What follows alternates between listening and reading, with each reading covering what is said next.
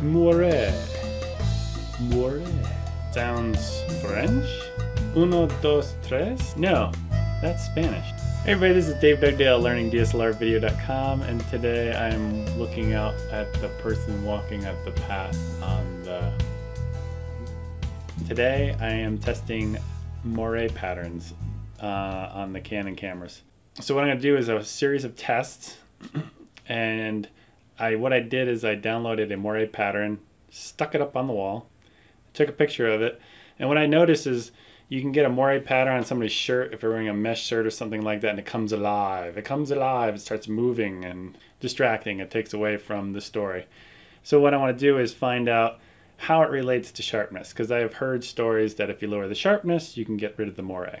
What I did is I downloaded a moire pattern off the web, put it up against the wall, and I moved it slightly back and forth like this because usually that's what happens when the shirt comes alive is when somebody moves slightly and you can see the moire pattern come, al come alive. So here's a series of tests. Okay, in this first one we're going to do a sharpness of 0 with 1 50th, 50th of a second shutter at full resolution at 1080. All right, now we're at a sharpness of 3, and I can see those concentric rings on both left and right sides of the center are getting more pronounced. And here is sharpness of 7, and giving more pronounced. And just for comparative purpose, let's go back back to 0, so you can see the difference between 7 and 0. And you can see there's much less going on there. All right. Alright, since I do a lot of filming uh, in 720p mode with 60 frames per second, because I like to be able to slow motion stuff, this example is going to show you uh, in 720p mode. I use a shutter speed of 125th um, for that 180 degree rule with sharpness of 0 right there. Now we're going to sharpness of 3. Uh, you can see those uh, concentric rings left and right are getting more pronounced. And go to 7 here in a second. There's 7, even worse. And then we'll go back to zero here in just a second right now. There's zero. You can see it's much less pronounced. So I just wanted to see what 720p looks like since I do a lot of filming in that, that particular type of, type of thing. Okay, now what I wanted to do is compare two of them for the high resolution. This is high resolution at 50th of a second, uh, 1080 uh, sharpness is zero, but I also want to compare it to um, 720, which I do a lot of filming in as well. And it looks like the winner is um, the higher resolution 1080, and we're going to go back to it here in a second.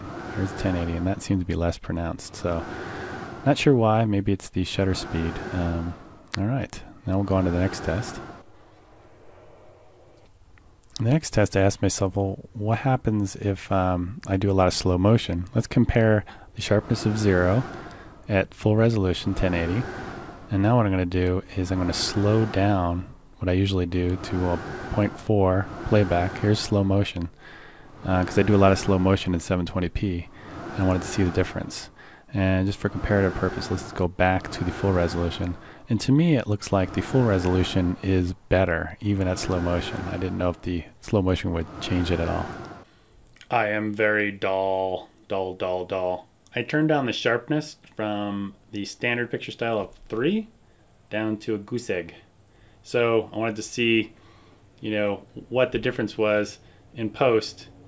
So what I'm going to do right now is I'm going to switch to a sharpness that I think equals the sharpness of the standard picture style in post.